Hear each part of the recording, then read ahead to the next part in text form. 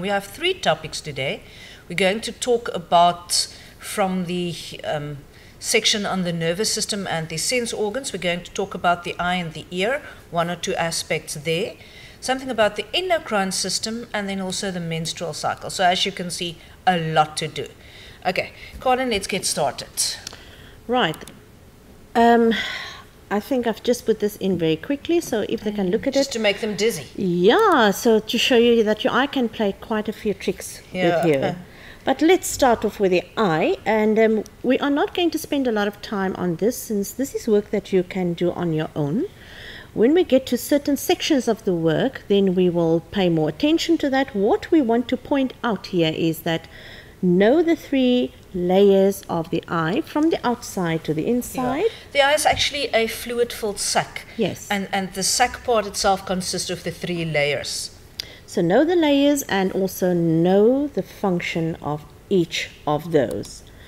Then also what we want to point out here is that when they show you a frontal view or a side view of the eye, then you should know or should be able to identify the different parts. And especially here, it's not as easy when they show you the iris here from the side, you can see, and the opening between it, that is the pupil, right?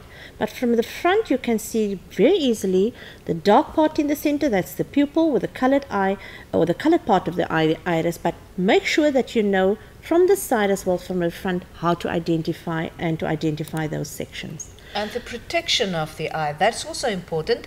Um, as you can see, the bony socket for starters, the eyeball itself is positioned and cushioned by the fat deposits. And um, before we get to the retina, apart from the bony socket and the fat deposits, remember about the eyelids, your eyelashes, the glands on the eyelids, etc., etc. Those are things that you have to go and do yourself. So the structure of the eye, as Carlyn has said, also a section, a seen from side, a lengthwise section, um, a frontal view, the protection of the eye. Those things are for you. Um, the um, inner layer of the eye. At the back is the layer that contains the photoreceptors that makes the eye a sense organ. And there are two types.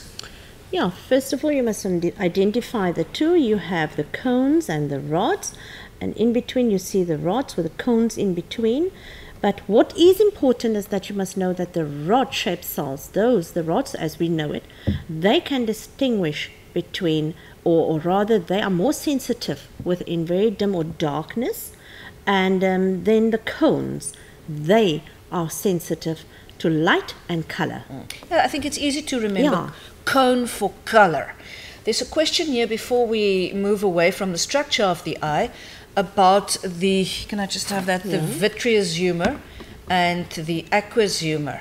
Now, if we take there, you will find the um, aqueous humor, and here you will find the vitreous humor. And the difference is simply that this is slightly more liquid, and that the vitreous humor is slightly more gel-like, and that gel-like uh, consistency helps to give the eyeball its shape.